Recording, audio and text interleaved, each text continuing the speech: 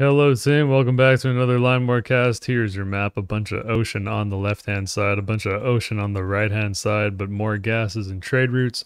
Two players today are Keaton 901 in blue spawning in this northern mountain range, and John Bolton in red spawning in the forest and going for an immediate five, six, seven factory start. Notice that there's only four territories that red has taken off the bat. So you can take six total, but if you save two territories worth of spots, then you get more income at the beginning. So this is why Bolton's been able to get up to now nine racks. Nine racks, losing money, 47 per minute at 248 total income. Keaton's at 272. But one, one thing that's going to happen here is that Red's going to ramp up on infantry which is going to be able to like catapult them to be able to cap quicker and take more land over time in, in a handful of minutes here. Keaton's going for three factories, a barracks behind, and a gas in the water. I really like that this was picked immediately from Keaton. This was one of the like pick phase territories that Keaton went for so that they could build a gas without having to cap this thing. And we're going to see how a lot of infantry deal with three factories worth of tanks. There's not all that much land on the map in general.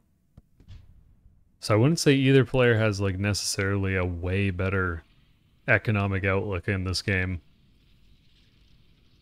We'll have to see how many tanks Keaton waits to get before going. I would expect probably six, like no more than nine off of one gas.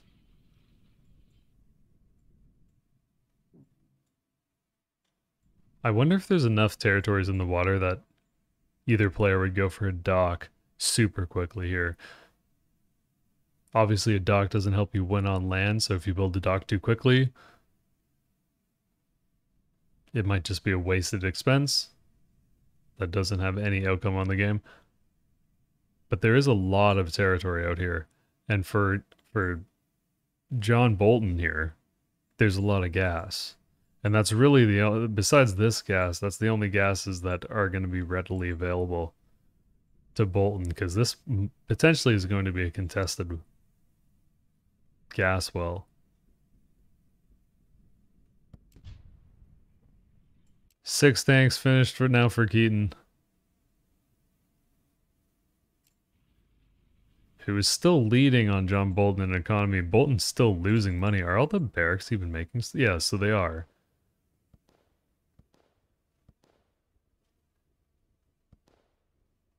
You can hear just how many infantry are, are finishing. In these five wide capping lines. So this is something that we saw in a previous video that DT Assassin was doing with these and and Jon Joe. In fact, Jon Joe's you can look him up on YouTube. Also does line war replays. I will link it in the description. But Jon Joe months ago said, "Here's a strat where you don't actually go for six territories right away. You go for less, and then you build more barracks, and you go into the negative intentionally, but you're gonna have so many units. I mean, just listen to how many are finishing. This is a lot of stuff. And for Keaton, if you walk into into this at this point, it's gonna there's gonna be an impressive number of infantry that are probably gonna be able to body block the tanks. I like that Keaton's going for another barracks that's super good and now transitioning to SAMs and artillery.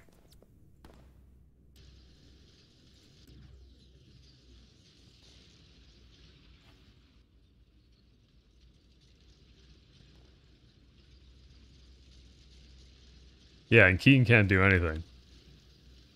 Has to immediately just kind of dip because it's just too many infantry.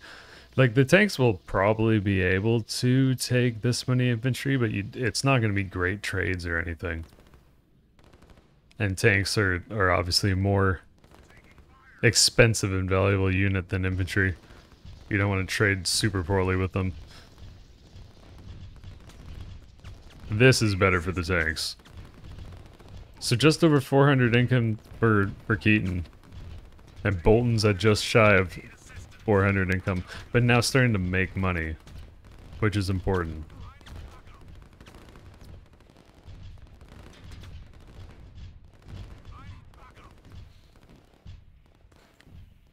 So this is great for Keaton because the tanks wiped out all that infantry. So now, now Bolton has to kind of like reconstitute the numbers that are going to push through the center of the map, but on the left side of the map, it's a ton of infantry capping.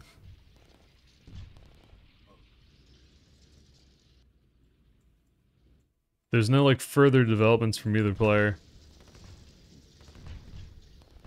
Just a little skirmish with the tanks in the center. On the left side of the map, Bolton's in a super good position here.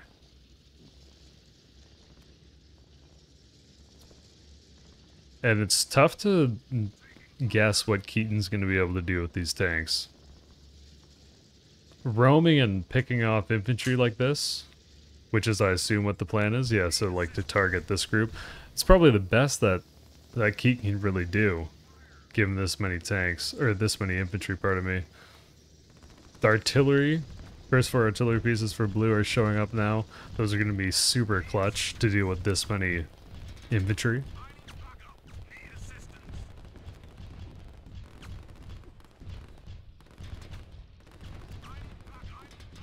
And the tanks are bugging out of there. I don't know, maybe someone can tell me in the comments. I feel like that's like a decent thing for blue to have happen. Really, given like what the alternatives are. At this point, maybe the tanks could rush on the production, but it's hard to it's hard to know.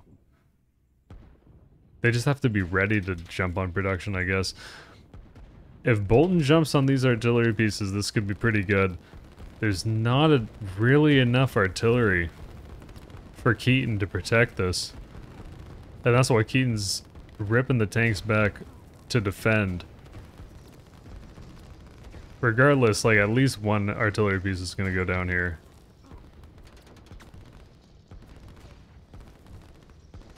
Four seventy six income for Keaton, five thirty six for Bolton who for sure is going to take the left-hand side. There's just too many infantry here.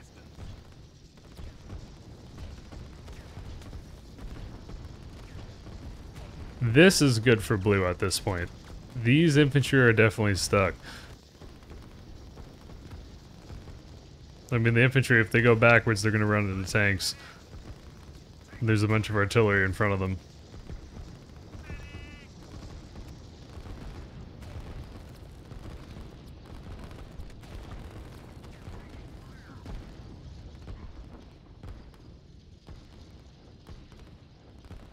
Keaton's still going for artillery out of the factories and dropping down a fourth barracks.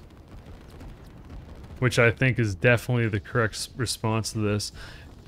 And one of the dynamics is that Bolton's kind of pinned on this low tech with A factories. Let's look at the money. I mean, Bolton could transition at this point. And there it is. There's the factory. But there's more tech in Keaton's army, which there's strengths to this. There's different capabilities. Ke Keaton's able to run around with these tanks. Look at how much, how much value these tanks have been getting. And now this push has the momentum's run out for, for Bolton, who is likely winning the game at this point. I mean, Keaton's at 500 economy, and Bolton's at nearly 600. Still, st still looking good for Red these next few minutes are going to kind of determine what happens, I, I think.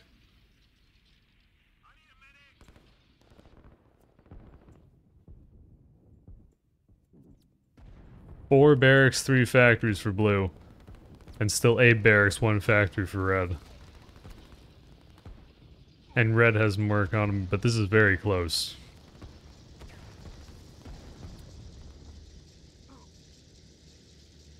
There's there's two aspects of players is how much can these artillery do for Keaton? Are they going to get jumped on? Are they able to really get good trades? because it's still eight barracks worth of infantry coming out from red, which is a substantial amount. And we see on the right hand side of the of the battlefield here, there's a lot of infantry that could start making a push towards this production, and at least cause this force to have to like retreat backwards or spread thin or whatever. Second factory from Bolton, which is definitely the play. And so far, Keaton's doing this perfectly with this push. Keeping the artillery nice and consolidated and not not having anything jump on them in, in large quantities. These tanks can protect this this flank. And to Bolton's credit, this is the the buying of time and the parrying here is pretty good at the, also. Because Red wants to wait until the second factory's up, for sure. There's no reason for Red to force a fight right now when, when there's a second factory coming online. Potentially even a third factory soon. Right-hand side is good for Red. There's decent potential to get a, an offensive going. And tanks on the left side for Keaton are, are, are really the wild card here. If, if Keaton can make these four tanks cap a bunch of territory or at all trade effectively, that would be huge. Very aggressive factory from Bolton, which I like because I think Bolton's going to take the, the momentum right now at just over 700 economy. Keaton's at 560. So this factory is meant to not end the game necessarily, but it is meant to be aggressive. Like, th there's no way Bolton's going to back up from this mountain range. That's the assumption.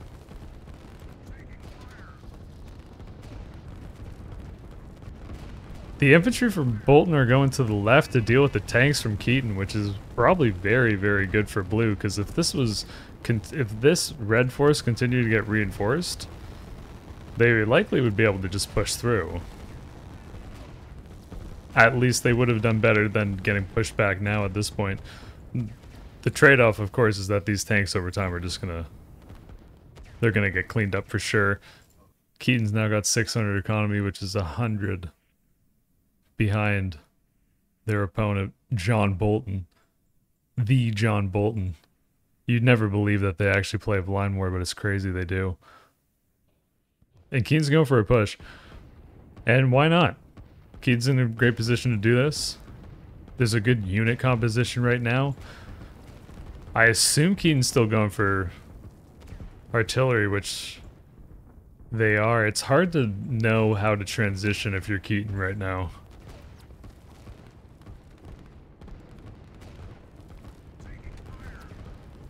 This is a lot of artillery. And Keaton's building a farm. We just heard it. We heard the cow. So you know it's a farm, of course. And I think that's definitely a play. There's no more easy territory for Keaton to cap. Like, pretty much perfect timing for Keaton to take this. but uh, Keaton really has less of the map than than Red at this point, so so building the industry is definitely needed.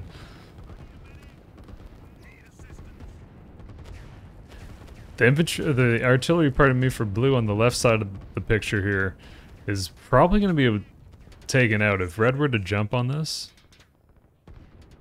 that'd at least be like three pieces that are taken out.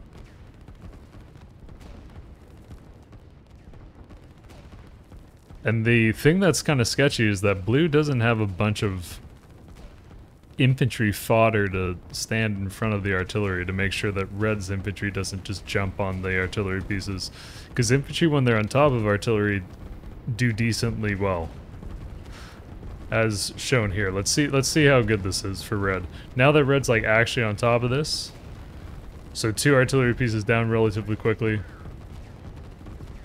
And this third one likely will as well.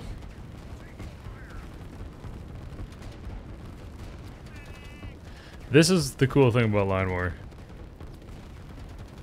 You have like multiple battles going on. But there's there's been an overarching narrative to the game. That, I don't know. But I'll have to think about how to formulate that thought a little bit more, but it, it's very cool that we've seen the push and pull in this central area the whole game. The dynamic of how red has a, had a little bit of an advantage on the right-hand side. It's a wild game, and if you've never played it, I encourage you to. It's a lot of fun. Keaton's going for an airport, that's what we heard, the jets. Bolton's going for another barracks, and these are the tanks of Keaton that are still coming in clutch. I mean, it, these are likely the first four tanks that Keaton built, so you can see the level of play from both players. For Keaton to be able to multitask those the entire time.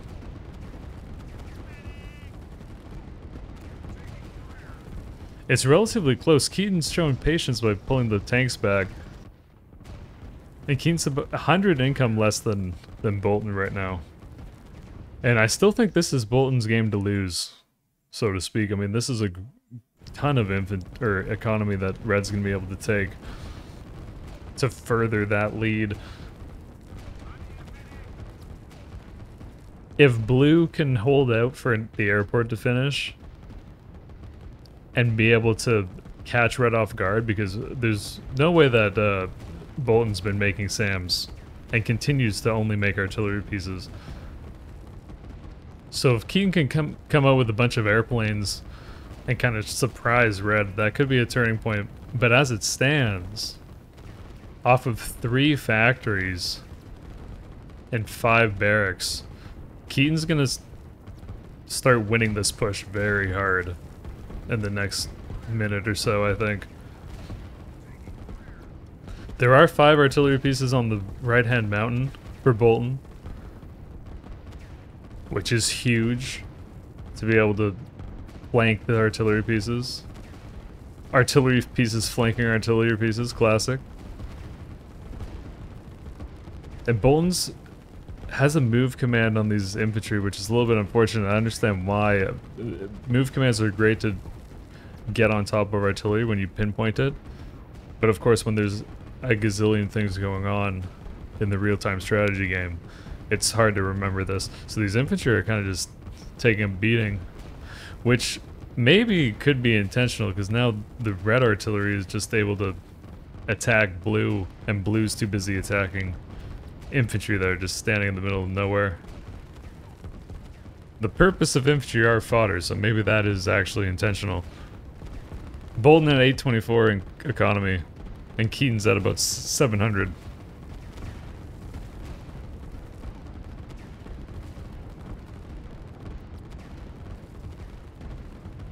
Transport jets from Keaton. And where are these going? Are they going over here? This is wild. Great play from Keaton to do this commando job.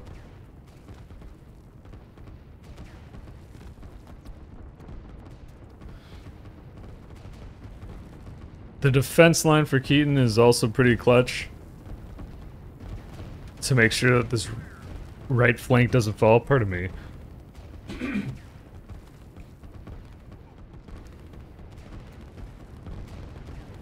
And if Keaton can hold the center of this,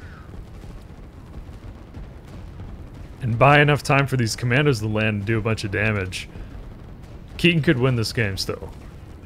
Even while being behind.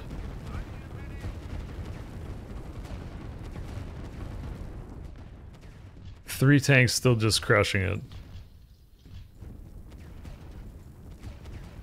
And Keaton's actually going to cap this. And build a proxy base.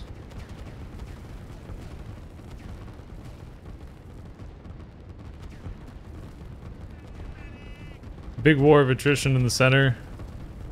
Keaton's still just shy of 700 and, and Bolton's at 850 economy.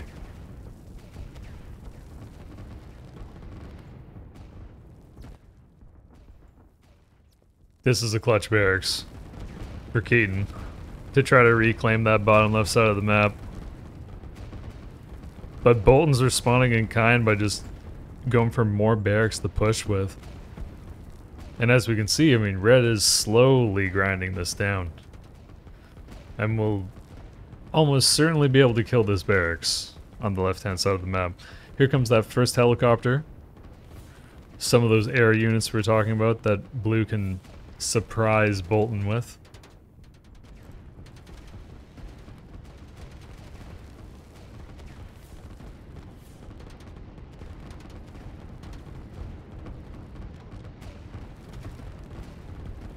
I almost... I don't know who's going to win. Straight up. I think red is still kind of winning this push a little bit. Two barracks now in the proxy location for Keaton. And maybe that's what's going to cause the GG. If, if these get cleaned up, it's a different situation.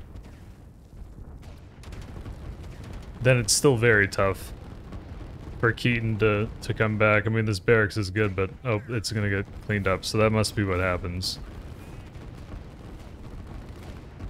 Great ideas, though.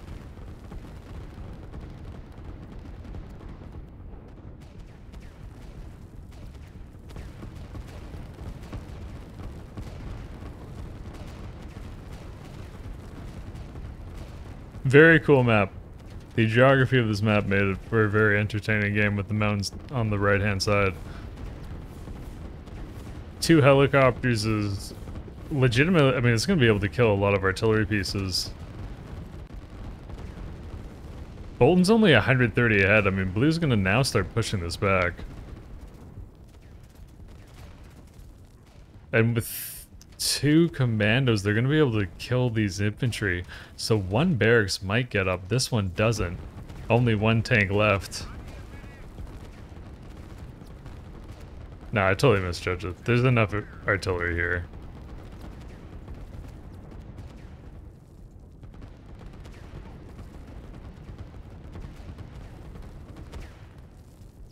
When all said, I mean, this is this is very good reaction time from from Nubs because this could have for sure done a lot of damage if Red wasn't paying attention. Very well played, both players. GG. Thank you for watching. Thank you for the support. Check out the Line War Discord if you want to learn more about the game. Check out Twitch. I stream on there as SodaQuackers, same name as on YouTube. Other folks do as well. Otherwise, enjoy your night, day, evening, breakfast, lunch, dinner, celebration, whatever it is. Peace.